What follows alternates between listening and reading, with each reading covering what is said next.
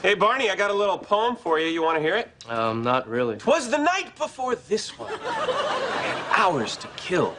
I sat in the tavern grading parchments with quill. With quill? Barney, it's a poem. A busty young lassie flashed me a grin. Her garb said classy, but her eyes whispered sin. She said, You're a teacher? I said, Yes, indeed. I must have you, she moaned. I'm turned on by Tweed. With haste we did scamper to my chamber anon. We fell to the couch, and bro, it was on.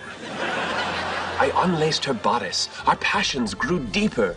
And thus ends the tale of the sexless innkeeper.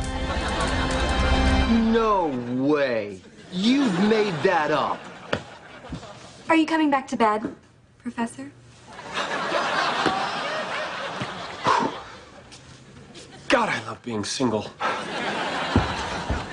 Barney, you ready for brunch with Lily and Marshall? What have I done?